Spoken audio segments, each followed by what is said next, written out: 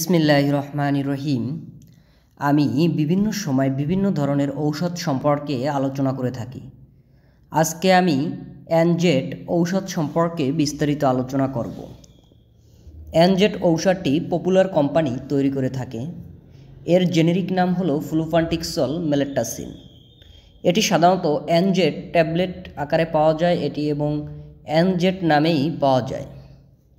যে সকল রুগীদের জন্য অ্যানজেট ঔষধটি দেওয়া হয়ে থাকে, সাধারণত যে সকল রুগীদের মানসিক সমস্যা রয়েছে, সর্বদা দুশ্চিন্ত করা, মাথা গরম হয়ে যাওয়া, মাথা ব্যথা করা, বিভিন্ন কারণে ডিপ্রেশনে ভোগা, যেমন পারিবারিক কলহল, সামাজিক কলহল, ব্যক্তিগত দুশ্চিন্তা, মানসিকতার চাপে, বিভিন্ন ধরনের জটিলতা সমস্যা দেখা দেওয়া অনেক সময় আর্থিক সমস্যা।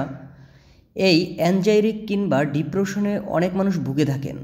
দেখা যায় যারা মানসিকভাবে বিষণ্ণ, ভালো কাজে মন বসে না কিংবা ভালো কাজ ভালো লাগে না কিংবা সঠিক সময়ে সঠিক সিদ্ধান্ত নিতে না পারা সর্বদাই মাথা ঘুরপাক করা, মাথার ভিতরে ব্যথা সৃষ্টি হওয়া কিংবা মাথা ব্যথা করা, ঘুম না আসা এ সকল রোগীদের জন্যই মূলত অ্যানজেট ঔষধটি দেওয়া হয়ে থাকে।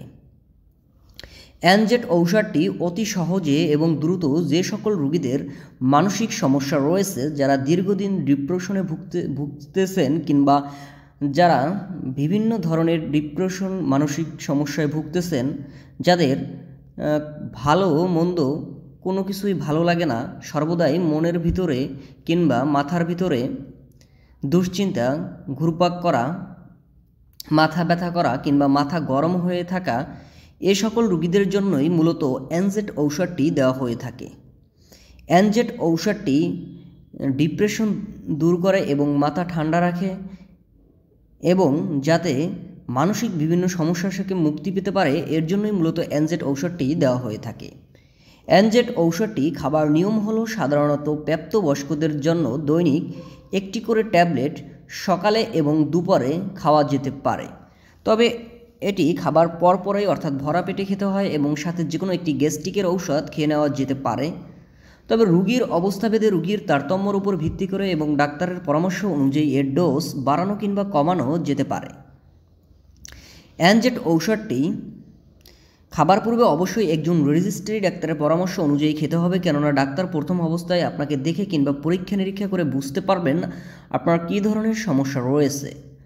আপনার যে ডিপ্রেশন আপনি ভুগতেছেন, যদি অ্যানজেট ঔষধটি দ্বারা আপনার এই ডিপ্রেশন বা যে মাথা গরম হয়ে থাকা কিংবা মাথা ব্যথা করা এই সমস্যাটি সমাধান করা সম্ভব হয়, তাহলে অ্যানজেট ঔষধটি দিবেন।